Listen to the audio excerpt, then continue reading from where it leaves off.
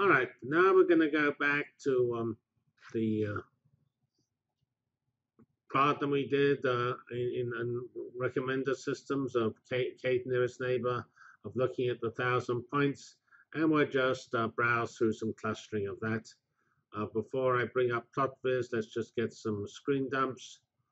Um, I should say that the we're going to look at uh, two things. The uh, for the thousand points, we're going to look at the um, actually three things. We're going to look at the um, original labeling of Harrington, one particular clustering, and finally, and that was into three clusters. And that's just to show what happens.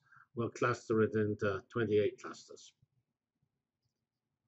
And uh, here is um, on the left is the Harrington's original um, no, on the right is Harrington's original um, assignment of uh, points to clusters. And on the uh, left is what happens when you assign the points uh, using um, k-means. And the, as, I, as I pointed out, we have here uh, centers. There's a yellow center here, the spheres, a brown center for the brown cluster, and a uh, purple center for the purple cluster. I did not mark centers for the Harrington uh, original labels. And you can see um, they're actually pretty different, and that's true always of this type of um, set of points. These are a set of points where there are actually no clearly identified clusters. You can chop them up into, into three or more um, regions, each where the points in each region are near each other. And that actually, for, for instance, a lot of recommendation systems is all you need because you're trying to find um, um, classifications. And all you need to do for a classification, especially when you have a lot of clusters, 28, where you, the regions are relatively small for this problem. If you have more, more points, you need more than 28 clusters. But when you have a lot of clusters, those actually divide the region up into relatively small subregions, and if something is near a point in a subregion, you know it's uh, pretty near, and it doesn't really matter how you do it. So that's a pretty important point about clustering. Are some cases we'll see later on where the clusters are very clear, and some cases like this where you can divide it into clusters, and those clusters uh, uh, can be done actually in other different ways because of there are no clear separations. So if we go to the next slide,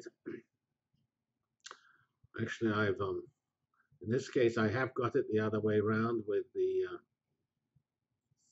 original labels now on the left and the optimal on the on the uh, right with the optimal having um, the centers. And uh, actually for this but this is just the same data rotated. And for this rotation we can actually find that the original labels, which are actually pretty clear. This is the effectively the clustering where the z-axis uh, is out of the board, so you're actually projecting on x and y. Uh, for this, for the original uh, labeling, that's a very clear clustering. For the new so-called optimal labeling, which is actually technically a, a smaller distortion and a better clustering, uh, for this particular orientation, that's not true. So that's um, that's no longer so clear. You, and that, but that shouldn't be held against it. If you cluster points in n dimensions, when in this case is three, and you project it into two dimensions, those clusters do not have to be clearly separated in two dimensions because the separation that makes the clustering can be in the other dimension. So let's just look at that in the plot viz, because PlotViz being three-dimensional will help us do that.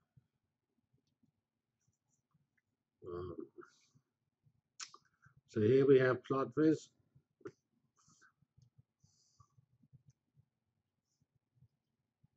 Let's just, actually I need to tile these windows. And now I have a nice plot viz with um,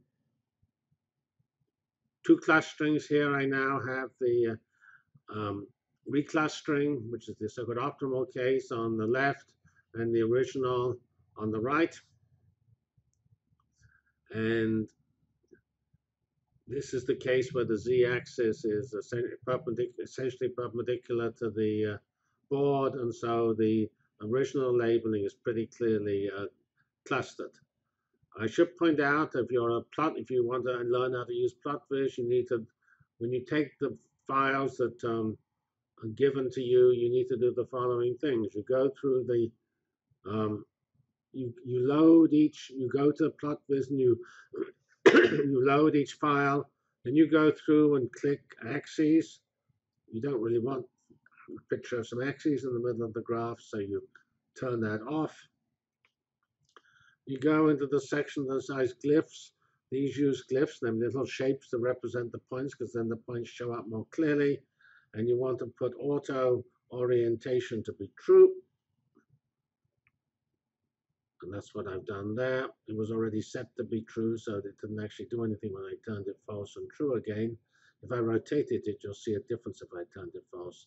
And the other key thing is we we're going to try to make these two um, 3D plots rotate together.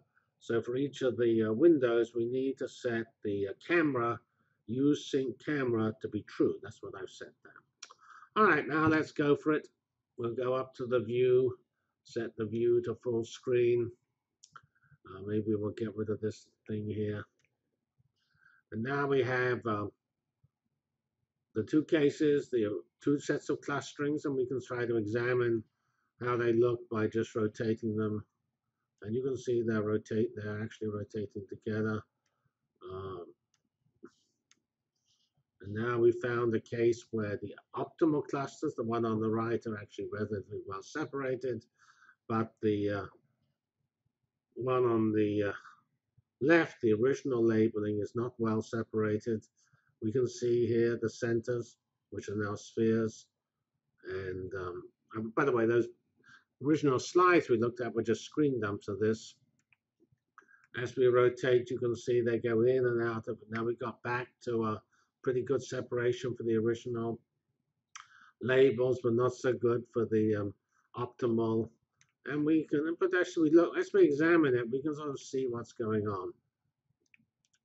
And by looking at this, we can find out the characteristics of this uh, data set. And whichever way we do it, it's relatively clear that these data sets are not separated naturally. They're just a set of a thousand points which which uh, fill a region, well, uh, not the total region, but a, significant part of the region.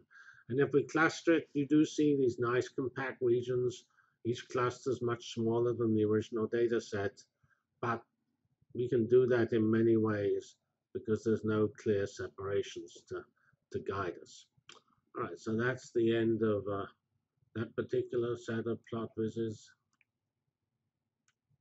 We go out of full screen and we'll get rid of that particular picture and we can actually go back to the um,